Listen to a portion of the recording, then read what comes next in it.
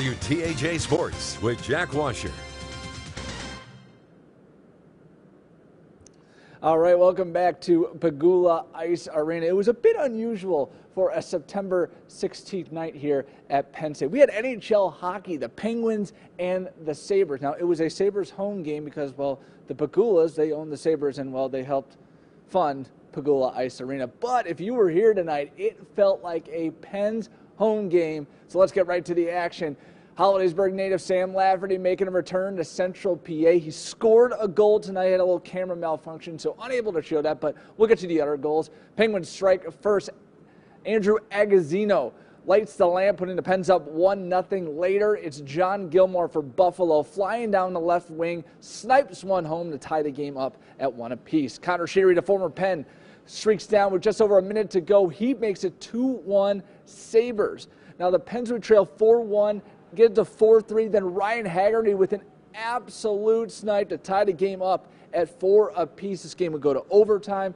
Pens didn't really big a lot, bring a lot of their big guns, but the Sabres did, and the captain, Jack Eichel, ends it with just less than a minute to go in overtime. That would be the winner. The Sabres win it 5 4. Lafferty, like I said, got that goal and got the attention of his head coach, Mike Sullivan.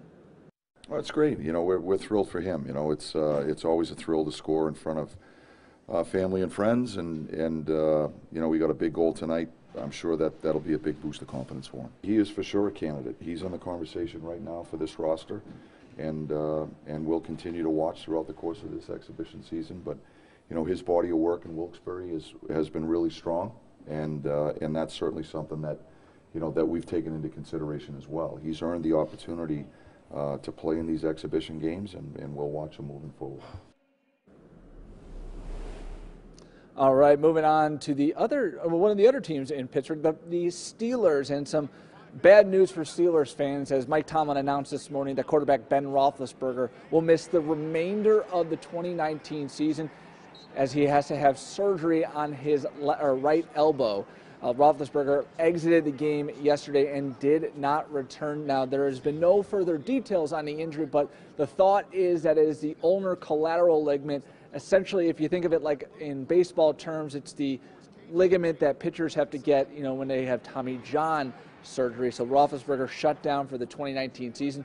Mason Rudolph will be the quarterback going forward, filled in nicely as the Steelers, though, did fall to 0 2. And you have to think about it right now that the Steelers have $47 million in cap space in sort of, you know, you want to call it dead cap right now with Roethlisberger on the IR and Antonio Brown. He's counting $21 million against the cap, and he doesn't even play for the Steelers. So it goes from bad to worse as the Steelers fall to 0 2 and try to get back on track against San Francisco on Sunday. And also some late breaking news: the Steelers have traded a first round pick in next year's draft to the Miami Dolphins for defensive back Minkah Fitzpatrick, the second year DB out of Alabama.